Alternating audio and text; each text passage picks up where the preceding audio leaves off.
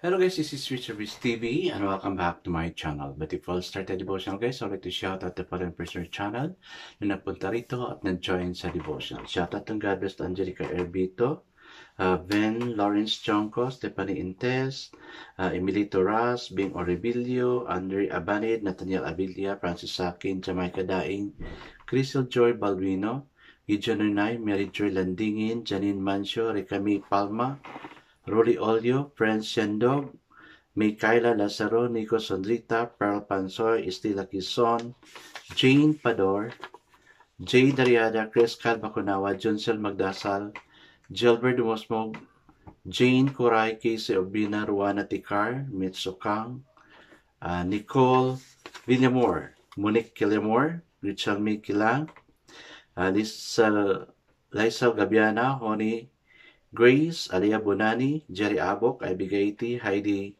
Leonis, Karen Bacaron, Hart Ponsalan, Mami Rose Crap, Ian Stevie, Connie Blog, Michael Aborita, Jocelyn Custodio, SSC TV of Korea, Retro Blog, Diobako Teko at Event to Bon, Anthony Balmoria. Shout out na rin sa mga hindi nakisabay na manood at makinig sa devotional, but still napunta pa rin dito para manood at makinig sa devotional. God bless us all guys.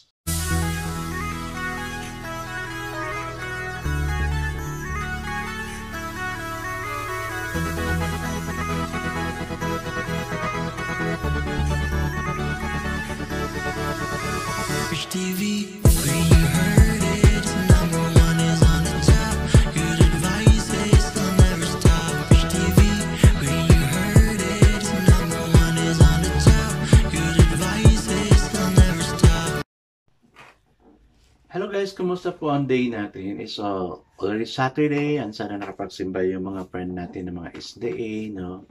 Yung lagi napupunta rito. God bless you, my friend, no? Alam ko kung sino yon. Sa mga estudyante naman, sulitin natin talaga yung bakasyon natin. kami nga punong-puno kami ng mga seminars, no? Minsan nakaka-pressure yung daming seminar. Then seminar, pagkatapos may ginagawa pa kami. So, well, laban lang. Laban lang tayo sa buhay. Ganyan talaga, no? Ganyan talaga. So, let's distress ourselves with God. Offer natin kay Lord para hindi tayo ma-pressure at hindi tayo ma-stress. I guess it's to our devotional. Let's open our Bible to 1 Kings chapter 9 verses 1 to 9. Still guys, I'm using the devotional study Bible because the words used here so simplified, maintindihan talaga natin. Ang ganda ng ano dito guys, ang title sa No? uh, sa Bible, no? The Lord appears to Solomon. Wow, how, I- how I also pray na ganyan ang mangyari, no? I guess let's now proceed to our uh, reading.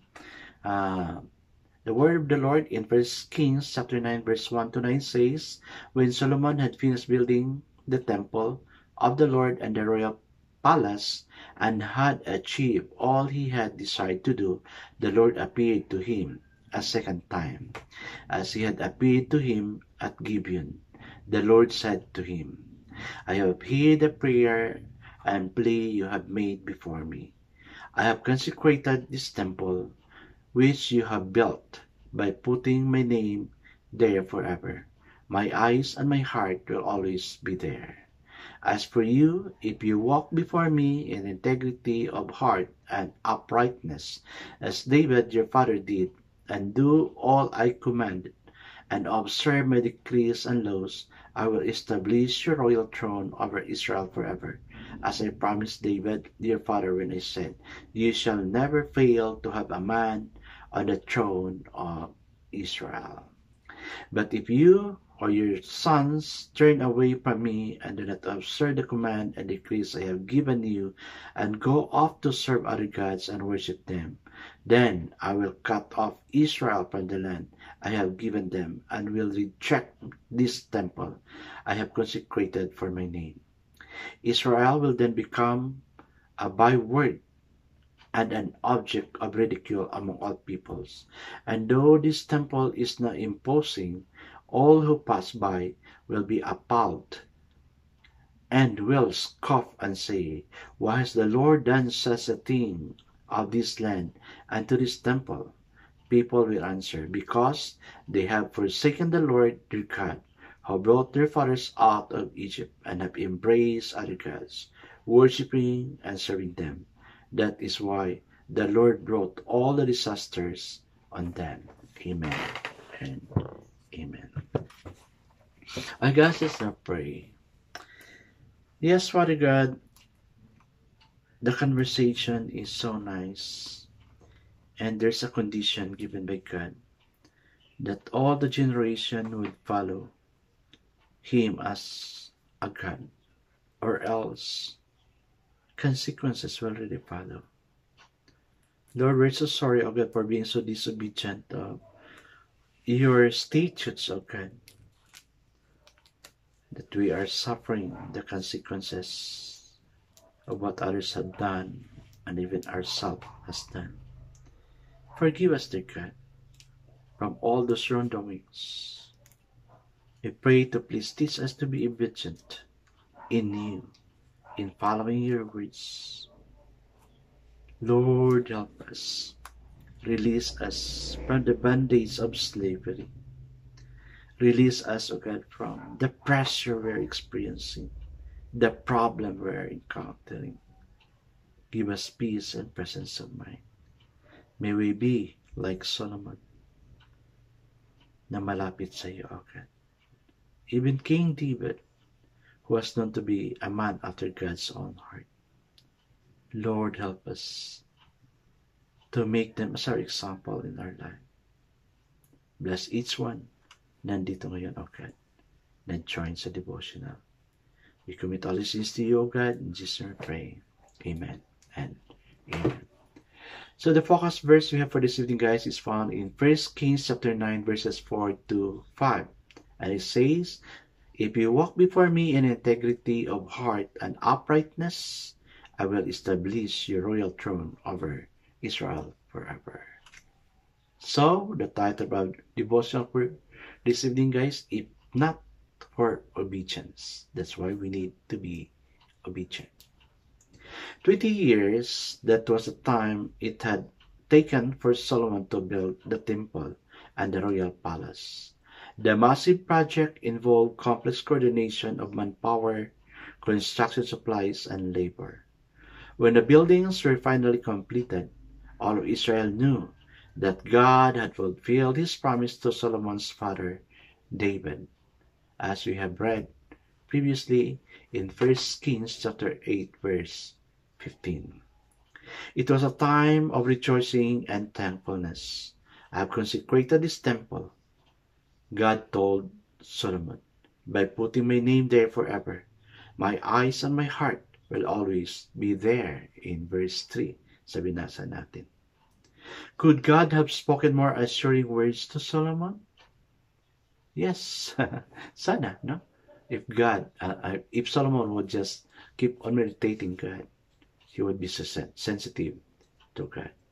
The Lord expresses favor over Solomon's effort, yet he goes on to say that although the temple matters to him, it is Solomon's obedience that matters most. God promises blessing if Solomon remains obedient to him, and punishment if he doesn't, in verses 5 to 9. Even the temple will become a heap of rubble, in verse 8. Painful consequences are the natural result of sin against a holy God. We can do great undertakings for God, but if we don't live in obedience to His commands and leading, all of our great work is in vain. God desires our obedience. Let's ask Him to help us walk before Him with integrity of heart and uprightness. Obeying Him is in all areas of our life matters most. Guys, many times I failed to obey God, but I ask forgiveness every time. God reveals to me that sins that I have done in a day. That's why we need to evaluate our day. Now, start our day with God. And our day with God. And evaluate ourselves kung ano yung mga nagawa natin masama na hindi kaya-aya kay Lord, then we have to ask for forgiveness. Kasi may consequences, guys. napakasakit sa consequences. God forgives us, but the consequences of the sin we have done is there. Okay, as much as possible, let's not commit sin. Let's be obedient to God. Mahirap sundin. But we need God's grace to be in us. I guess let's now pray. Eternal God and Father, help us to be obedient to you. Remind us that without our obedience, everything we do for you is in vain. Lord, help us. In Jesus' name we pray. Amen and amen. Yes, guys, trust and obey, for there's no other way. God bless us always because I know God surely blesses ten times better. This again is Rich TV. Kita-kita tayo ulit sa muli. Paalam!